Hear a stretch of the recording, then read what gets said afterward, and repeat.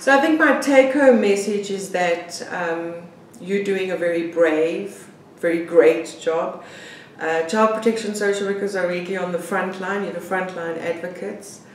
Um, and I don't think you must lose hope. I think you you need to often we look at what's wrong and not at what's strong. And in South Africa, we live in a culture of of high stress and high vulnerability.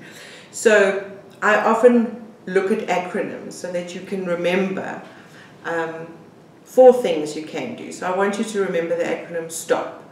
So S is for services or support. Remember that if we need to support these children who are in dangerous situations, we need to ensure their safety and we need to try and ensure their basic needs. The T is for treatment. Remember, treatment is mandatory um, because the consequences are lifelong. Treatment is mandatory, and we need to give these child victims an opportunity to recover. Always for outcome, don't always see the now, see the bigger picture. Um, and we might not always be able to change the situation the child's in now, but we want to allow the child hope to strengthen their ability to be able to recover long term.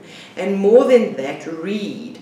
Read about research, read about evidence based research, and try all you can to try and inform policy making and policies um, discussions.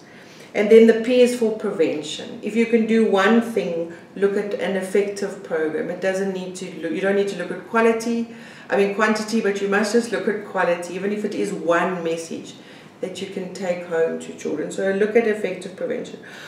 Overall, my message today is remember that it's easier to build and strengthen healthy children than to rehabilitate a society of injured adults.